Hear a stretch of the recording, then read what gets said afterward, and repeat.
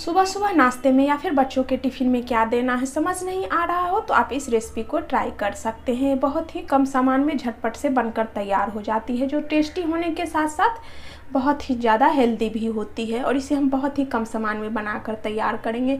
इसके लिए हमने यहाँ पे एक कप चावल ले लिया है और एक कच्चा आलू ले लिया है। चावल को हमने पहले ही धो लिया है और इसे आधे घंटे के लिए पानी में भींगने के लिए छोड़ दिया था। ये अच्छी तरीके से भींग चुकी है। अगर आपके पास समय नहीं हो आप सुबह सुबह इस नाश्ते को बनाना चाहते हैं तो इसे आप रात में ही भिगो कर छोड़ सकते हैं, जिससे ये अच्छे से फूल जाएगी।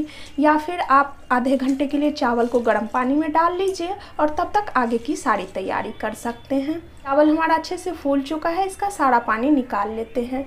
चावल से हमने सारा पानी निकाल लिया। मिक्सी का बड़ा वाला जार लेंगे। अगर आपके पास बड़ा वाला जार नहीं हो तो चटनी वाला जो छोटा जार होता है, उसमें भी आप पीस सकते हैं। उसमें आप दो बार में ही इसको पीसिएगा। ये जार थोड़ा सा बड़ा है, मैं तो सारा चावल एक बार में ही डाल लेती हूँ।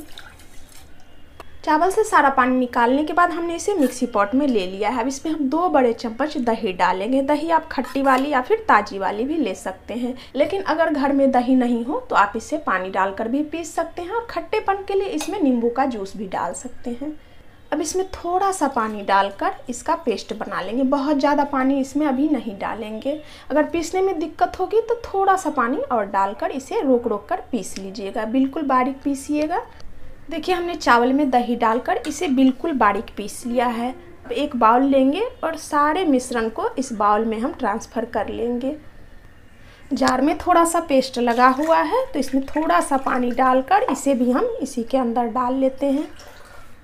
इसको साइड रख लेते हैं और इधर जो हमने एक आलू लिया था, उसे मीडियम साइड वाले ग्रेटर से ग्रेट कर लिया है और पानी में दो तीन बार अच्छे से वॉश कर लिया है। इसका सारा स्टार्च निकल चुका है। अब इस तरीके से पानी से हल्का सा इसे निचोड़ते हुए इसे निकालते जाएँगे और इस चावल के घोल में डालते जाएँगे। अब आप चाहें तो इस नाश्ता को सिर्फ़ आलू डालकर भी बना सकते हैं, लेकिन इसे थोड़ा सा और कलरफुल और एकदम हेल्दी बनाने के लिए इसमें हम थोड़ी सी और सब्ज़ियाँ ऐड करेंगे। तो यहाँ पे मैंने छोटा सा गाजर का टुकड़ा लिया था, इसे भी मीडियम साइज़ वाले ग्रेटर से ग्रेट कर लिया है, इसे भी डाल लेंगे। एक मीडियम साइज़ का टमाटर लिया था, इसे भी बड़े बड़े टुकड़ों में काट कर लिया है। छोटे साइज़ का प्याज लिया है, उसे छोटे टुकड़ों में काट कर लिया है। तीन चार हरी मिर्ची जिसे मैंने काट कर लिया है। आप नाश्ता को अगर तीखा और चटपटा बनाना चाहते हैं तो मिर्च की क्वांटिटी को बढ़ा भी सकते हैं। थोड़ा सा बारीक कटा हुआ हरा धनिया डालेंगे। इसे पहले एक बार मिक्स कर लेते हैं। नाश्ता जितना ज़्यादा कलरफुल रहेगा, देखने में उतना ही ज़्यादा सुंदर लगता है और बच्चे भी इसे बड़े मन से खाएँगे। सारी सब्जियों को एक बार पहले मिक्स कर लेते हैं। ये घोल थोड़ा सा गाढ़ा लग रहा है तो मैं इसमें थोड़ा सा पानी और डालकर इसे थोड़ा सा पतला कर लूँगी। बहुत ज़्यादा पतला नहीं करूँगी। देखिए, इस तरह का घोल हमें बनाकर तैयार कर लेना है। फ्रेंड्स, आपको ये नाश्ता की रेसिपी पसंद आए तो वीडियो को लाइक, शेयर ज़रूर कीजिएगा। साथ में यदि चैनल पर नए हो तो चैनल को भी ज़रूर से सब्सक्राइब कीजिएगा ताकि मुझे भी मोटिवेशन मिल सके और मैं भी आपके लिए अच्छी अच्छी रेसिपी लेकर आ सकूँ। घोल की कंसिस्टेंसी इसी तरह की होनी चाहिए। अब इसमें हम स्वाद के अनुसार नमक ऐड कर लेते हैं और नमक को भी अच्छे से मिक्स कर लेते हैं।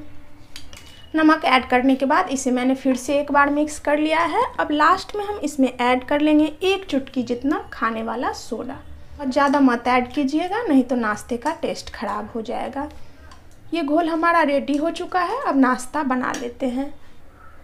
तो इसके लिए गैस पर एक पैन या तवा रखेंगे। इसमें थोड़ा सा ऑयल डालेंगे। बहुत ज़्यादा ऑयल इसमें डालने की ज़रूरत नहीं पड़ती है। बहुत कम ऑयल में ही ये नाश्ता बनकर तैयार हो जाता है। ऑयल को पैन में फैला लेने के बाद बैटर को मिक्स कर लेंगे और एक चमचा भरकर बैटर लेंगे और इसे पैन में इस तरीके से फैला लेंगे।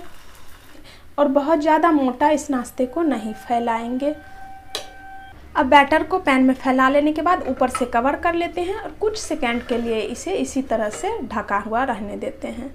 कुछ सेकेंड हो चुका है, कवर हटाकर चेक कर लेते हैं। आप देख सकते हैं ये ऊपर से ड्राई हो चुकी है तो इसके ऊपर थोड़ा सा हम ऑयल डाल लेते हैं।